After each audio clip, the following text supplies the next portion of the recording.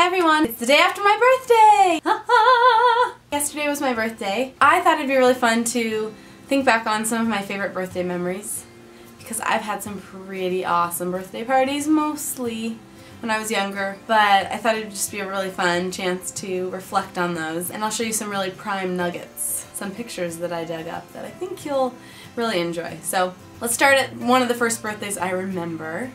I think I was four pretty sure this is my fourth birthday and I had broken my leg. I think a lot of kids were breaking their legs because they were sitting on their parents' bike bar before there were actually legitimate like bike seats. That's how old I am, people. My leg got caught and it broke in the spokes. Yeah, my parents felt awful. But that happened to like three friends of mine. Anyway, we had my birthday party at a park and what I just vividly remember was the cake my mom made.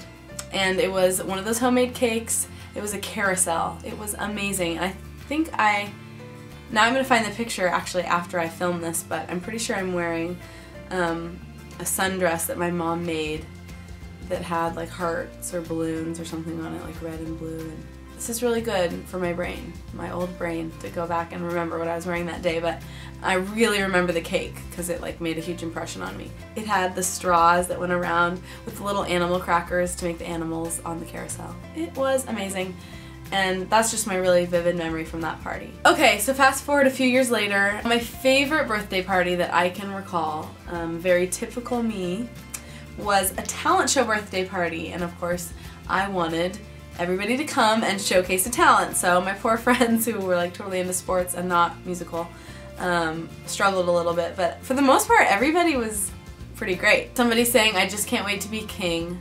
Eileen, did you sing that? I think my friend Eileen sang that. I think Carissa and Kristen, two of my girlfriends who um, danced and we were we danced together. I don't know if they choreographed this or if they had done this routine, but they did, I think it was We Go Together from Grease and they had the poodle skirts and it was really cute. I wore I don't know how mom let me do this. It was kind of sketchy. For Halloween, I think the Halloween before I had been a dance hall girl, like a can-can girl. um, but, you know, it was like the spaghetti strap kind of fun dress with fishnets and like a garter. I mean, this was like fifth grade, but whatever. I had the ringlets here and the hair up, kind of like that classic like can Can Girl. I sang Hey Big Spender, which is pretty much a prostitute song. It's from Sweet Charity and it was on my like original karaoke tape that came with my karaoke machine. Yeah, super inappropriate. Hey, I didn't know what I was singing about and it was a lot of fun. So we had a wood deck and that had posts. So there was like the perfect space for me to hang sheets to make a curtain. I think we did like the whole little glitter curtain for the top part and then we had I think just sheets to make a curtain though. So it really looked like a little theater. And it was out on the deck. And I actually remember specifically I was kind of annoyed because my friend Paige I love you Paige she played the piano. She was great. But we had to go inside to see her talent and I was irritated because I was Little Miss Director and I had everything a certain way. I was like well you know I wanted everyone to be on stage. So that was just a random memory that I have. My friend Anne, Anne, I don't remember what you did, but you brought, um, you had an exchange student, a Japanese exchange student, and I remember she sang, pretty sure, she sang I Will Always Love You in Japanese by Whitney Houston. That was phenomenal. So that was pretty much, that goes down in history as my best birthday. Well, okay. So now fast forward to um, the big birthday. I'm not gonna, I'm not gonna tell you how old I am. But there was a big birthday recently. 21. Woo! We went to Vegas. I had never been to Las Vegas. Peter surprised me. We got to the airport. Okay, this this does trump everything. We saw two shows, two Cirque du Soleil shows in one night. That's totally how I roll. A 7 o'clock, a 10 o'clock. Peter knows me well. The reason why, probably why it trumps everything is because I actually got pregnant. Ah, surprise! Is that too personal? So that's why that birthday trumps everything. so one other fun birthday memory is a birthday that I share with one of my birthday buddies, and that is Devin Supertramp. We share the same birthday, same day, same age. We were literally born in two different places, but around the same time. So that's pretty cool. And on our golden birthday, his parents live in Oregon, so it was crazy. He was visiting and um, we went up and our friend Lindsey Stirling, wow I'm name dropping a lot, But it was just a fun party because Lindsey was there and Devin and his parents celebrated our birthdays with us and his mom like went all out. She did like all themed golden. It was just really neat. Linda, that was so fun and that was a great memory. I've had some really good ones the last few years. I don't remember last year's at all, so maybe it wasn't very exciting, but I've been lucky and had some great birthday celebrations. So that brings me to this year's birthday.